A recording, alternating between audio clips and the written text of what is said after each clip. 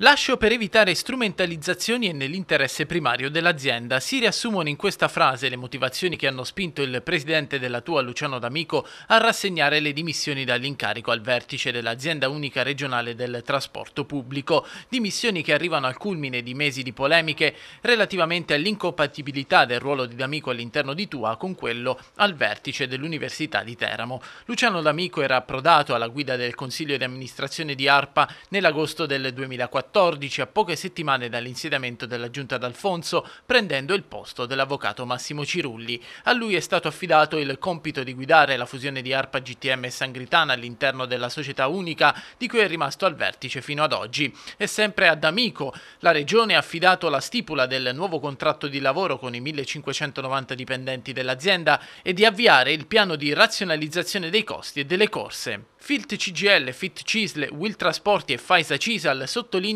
come in questa vicenda siano prevalse le logiche della politica, ricordando lo stilicidio di attacchi e di denunce inoltrate alla magistratura, agli organi di controllo contabile, all'autorità anticorruzione che pur non avendo fatto emergere fatti o situazioni penalmente rilevanti o legati all'inconferibilità e incompatibilità dell'incarico, hanno tuttavia indotto il presidente D'Amico a fare un passo indietro. Dire grazie al rettore è troppo poco, scrive il consigliere regionale delegato ai trasporti Camillo D'Alessandro, che ricorda come il presidente della Tua abbia lavorato a titolo totalmente gratuito. Non appena le condizioni lo consentiranno, conclude D'Alessandro, non esiteremo un istante a chiedere a Luciano D'Amico di tornare a dare una mano all'Abruzzo. Sin dal momento della nomina ci sono state molte verifiche sulla presunta incompatibilità del mio incarico quale presidente di Tua con quello di professore a tempo pieno dell'Università degli Studi di Teramo. Sono tutte verifiche che si sono concluse positivamente, da ultima la verifica dell'autorità nazionale anticorruzione che ha demandato per eventuali profili di incompatibilità al Ministero dell'Università, ritenendo per quanto di propria competenza l'insussistenza di cause di inconferibilità e incompatibilità.